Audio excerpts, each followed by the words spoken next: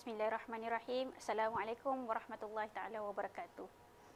Untuk khusus usul fiqh, yang seterusnya kita melihat kepada sumber hukum yang ketiga iaitu ijma'. Sebelum ni kita telah melihat kepada apa itu pengertian ijma' dan apa rukun-rukun ijma'. Pada kali ini kita akan lihat kepada pembahagian ijma'. Apa dia pembahagian ijma'?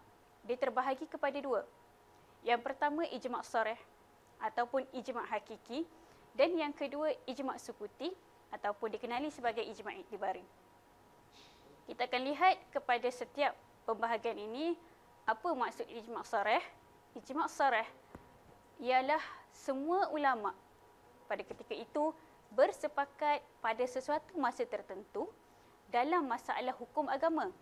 Jadi mereka ni berpakat dalam satu-satu hukum agama. Di mana cara mereka adalah masing-masing mengeluarkan dan melahirkan fatwa yang baik. Fatwa baik dalam bentuk perkataan ataupun perbuatan. Itu ijma' sarih. Yang kedua adalah ijma' sukuti ataupun ijma' iktibari. Apa itu ijma' sukuti? Ia adalah uh, sebahagian ulama mujtahid mengeluarkan pendapat mereka melalui fatwa.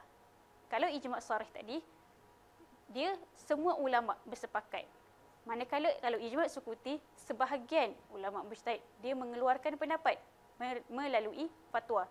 Sedangkan sebahagian ulama mujtahid yang lain sama ada mereka mendiamkan diri, tidak menyatakan pendapat atau tidak sependapat.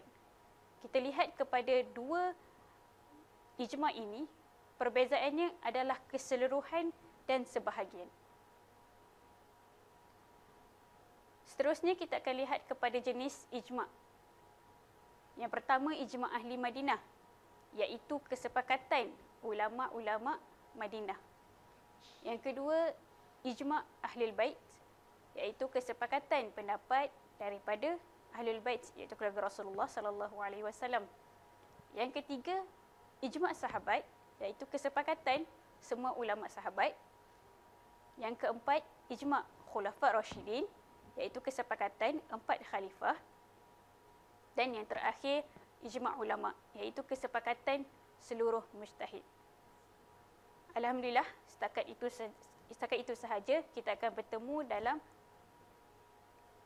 kursus seterusnya.